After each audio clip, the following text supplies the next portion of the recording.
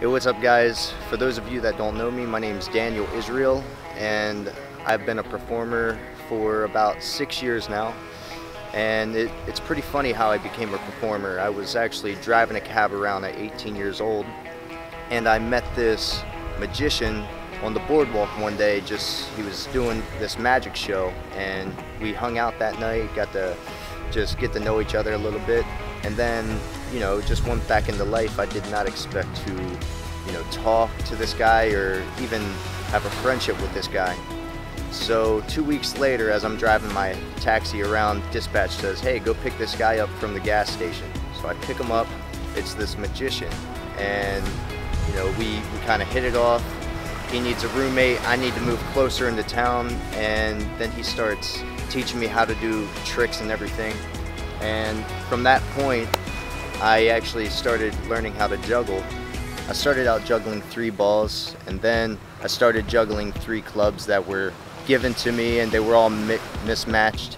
And then I finally had the money to afford my own, so I got four PX3 juggling clubs, and I started working on them and now I'm at the place to where I'm almost getting five clubs down and I've even got to play with the flow toys so one of the things that motivates me is when I'm juggling and I'm learning a new trick it's it's one of the most exciting things in the world to be able to do a trick that you've worked really hard at doing. And to get it that first couple times it's really exciting. I like to juggle outdoors. Like right now I'm at one of my favorite beach spots and I can juggle out here and just enjoy the, the view while doing something I love to do. But when I'm learning numbers juggling or something that's hard to do on the wind, I will go into like a gym or like a LA Fitness or something like that.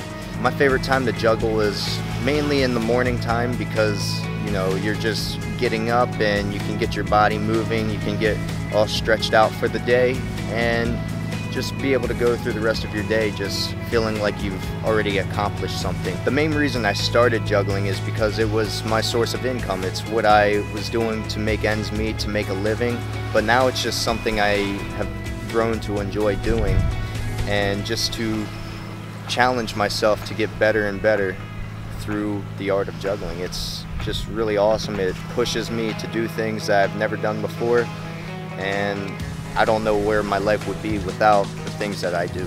So juggling is awesome.